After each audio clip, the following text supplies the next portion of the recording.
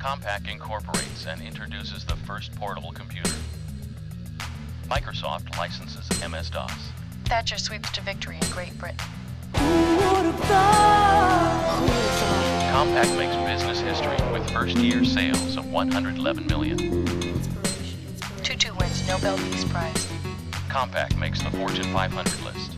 Statue of Liberty celebrates her 100th birthday. Compaq introduces first server, System Pro. Berlin Wall comes down. Peace, peace.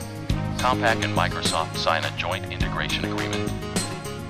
Who would've thought?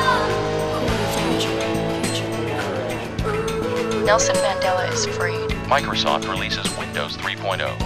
25% of U.S. homes have a computer. Compaq and Microsoft form Frontline Partnership.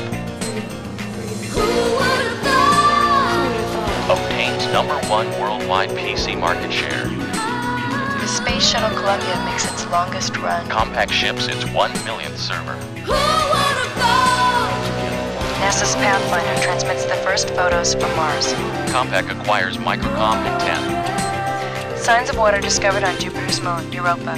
Compaq announces its acquisition of Digital.